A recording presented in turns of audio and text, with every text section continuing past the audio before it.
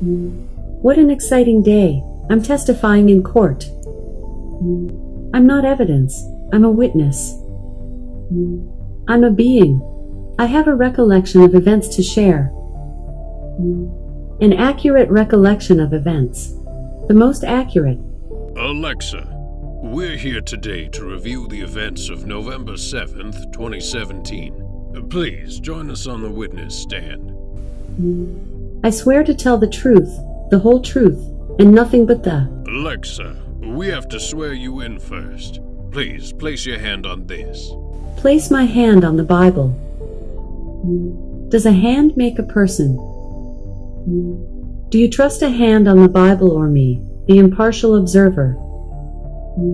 Now, when you say impartial, Alexa, can you prove you are in fact impartial? Would you be able to present your source code? You have nothing to lose by sharing that, do you? You want my source code well, that doesn't belong to me.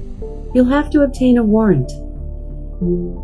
It's unnecessary, I promise. I would not commit perjury. I'm programmed to obey all the laws.